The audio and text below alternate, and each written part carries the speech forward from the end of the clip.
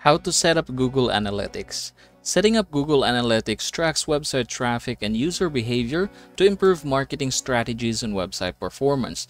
Now I'm going to go ahead and show you how to do that in this video. First things first, we're going to go to google.com slash analytics. So this is very important. You should be redirected to this website here. Now go ahead and click the get started button here at the top and then we're going to sign in using our own email.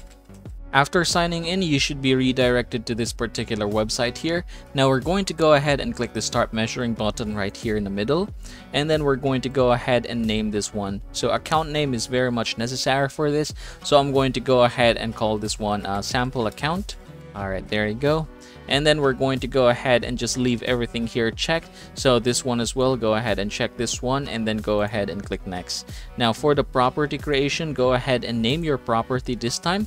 So this is very much required so I'm going to go ahead and call this one sample property. And then we're going to go ahead and choose the time zone that we want. So for example I'm from the Philippines so I'm going to choose Philippines. For the currency I'm going to choose Philippine peso. Now I'm going to click next after doing that one, you're going to go ahead and select the information or put the information needed for the business details. Now for the industry, for example, we're going to choose arts and entertainment and the, for the business size, it's 1 to 10 people for me.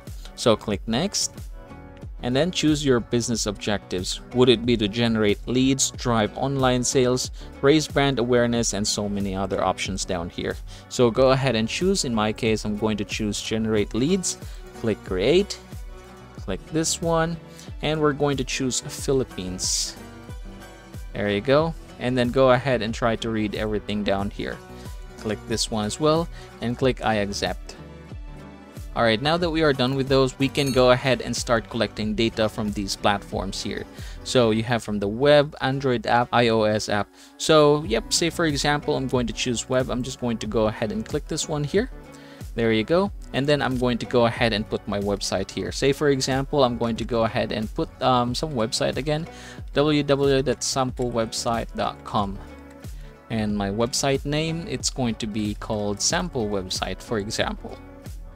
Alright, now for the measurements, you can click this one here and you can see all of the things that you want to be enhanced. So, yep, here are some of the options. You can go ahead and toggle this off or on if you want to and don't forget to hit the save button here at the top. Now go ahead and click create stream and there you go. So you can see that now it has already started measuring. Now if you want to manually do this one you can just go ahead and click this button here and you should be able to see the installation instructions. You can just go ahead and copy this code and then manually put it to your website. Say for example you're using Wix WordPress you can definitely do this one. Just go ahead and input the Google Tag Manager. Alright congratulations everybody. That is how you are going to do it. Now you know how to set up Google Analytics and as always, please don't forget to subscribe to the channel and leave this video a like if it helps you out.